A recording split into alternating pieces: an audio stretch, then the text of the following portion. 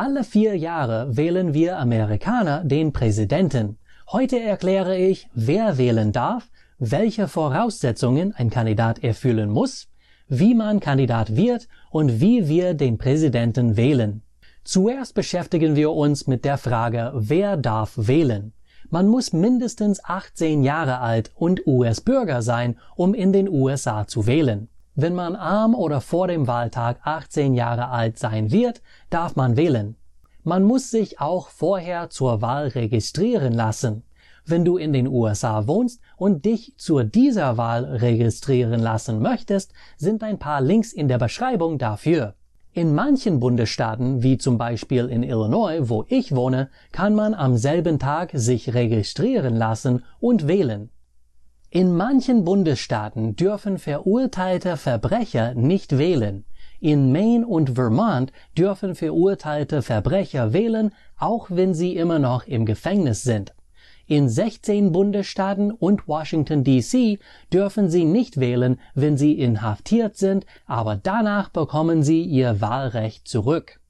Manche Bundesstaaten davon, wie Florida zum Beispiel, erlauben das nur, wenn alle Strafgelder, Schmerzensgelder oder Gebühren bezahlt werden. In elf Bundesstaaten gibt es andere Bedingungen, die von den Verurteilten erfüllt werden müssen. Für mehr Informationen darüber klickt die Links in der Beschreibung. Wer darf Präsident werden?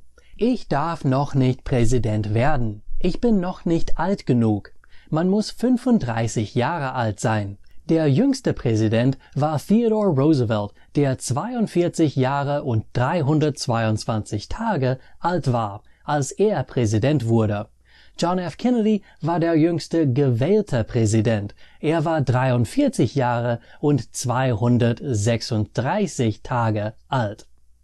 Falls du es nicht wusstest, wurde Theodore Roosevelt nicht gewählt, sondern nach dem Tod von William McKinley automatisch für den Rest der Amtszeit in die Präsidentschaft aufgerückt. Nach dieser Amtszeit wurde er gewählt. Um Präsident zu werden, muss man auch ein sogenannter Natural Born Citizen sein. Jeder Mensch, der die Staatsbürgerschaft der USA durch seine Geburt erlangt hat, ist ein Natural Born Citizen. Er oder sie muss auch mindestens 14 Jahre in den USA gewohnt haben.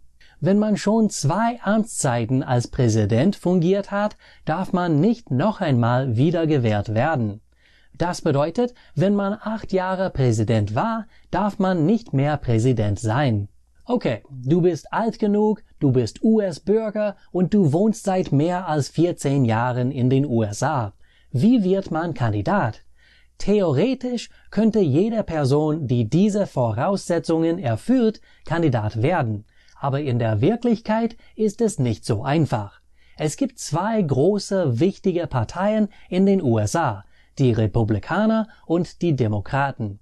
Nur sechs Präsidenten waren weder Republikaner noch Demokraten. George Washington war Parteiloser. John Adams war Föderalist. William Henry Harrison, John Tyler, Zachary Taylor und Millard Fillmore waren Whigs. Es gab auch vier sogenannte demokratische Republikaner, Thomas Jefferson, James Madison, James Monroe und John Quincy Adams. Seit Abraham Lincoln und Andrew Johnson sind alle Präsidenten entweder Republikaner oder Demokraten. Um eine echte Chance zu haben, um Präsident zu werden, muss man entweder Republikaner oder Demokrat sein. Ross Perot, ein Unternehmer, der weder Demokrat noch Republikaner war, hat 1992 fast 19 Prozent der Stimmen bekommen.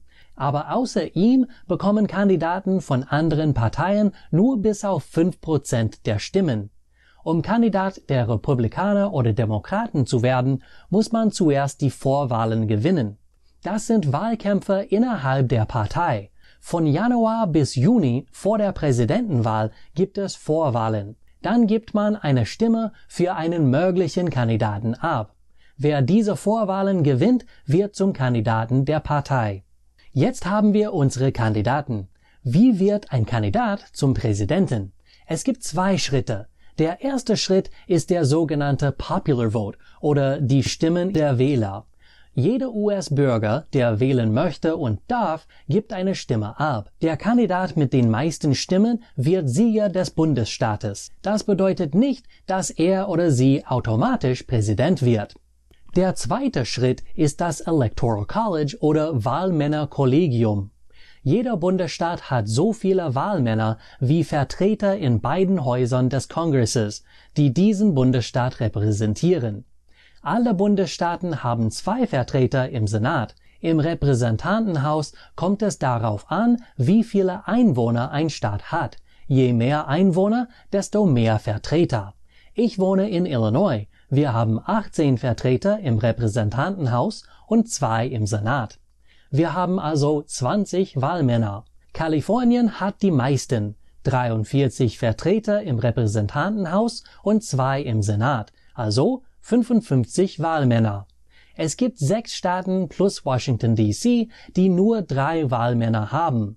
Insgesamt gibt es 538 Wahlmänner in den USA. Sie wählen im Dezember.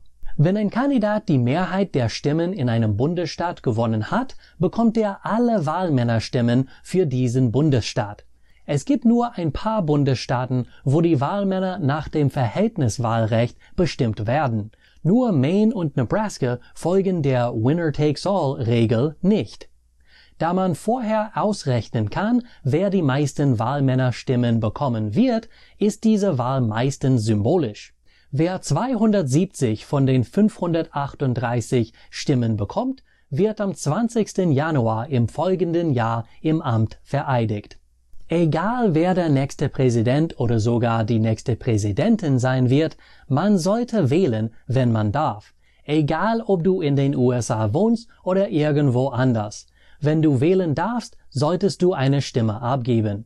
Falls du US-Bürger bist, gibt es einen Link in der Beschreibung, der dich zur Wahlregistrierungswebseite führt. Das ist alles für heute. Danke fürs Zuschauen. Bis zum nächsten Mal. Tschüss.